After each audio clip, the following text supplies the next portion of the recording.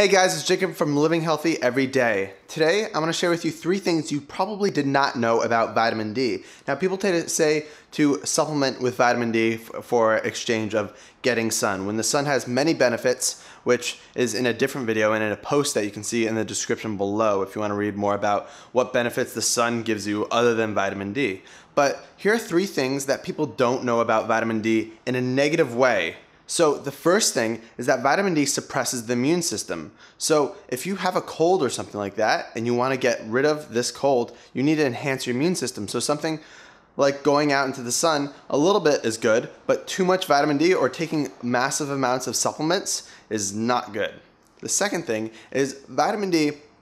Most people think vitamin D, uh, low vitamin D happens from a chronic illness or something like that. They think uh, vitamin D causes the chronic illness, when in fact, research is showing that vitamin D, when it's low, may be a result of this chronic illness. Not, uh, it's not causational to the chronic illness. It happens because the chronic illness had happened. And the third thing I want to talk to you about is the active form of vitamin D. Now, people don't understand what the active form of vitamin D is. Most people think that you can take vitamin D supplements and that's it. Well, you have vitamin D receptors in your body that need to be activated. And if they're not activated, whether you have a genetic problem that doesn't allow them to, or you have a pathogen or toxin in your body, then this vitamin D floats around in your body and gets excreted out through the urine.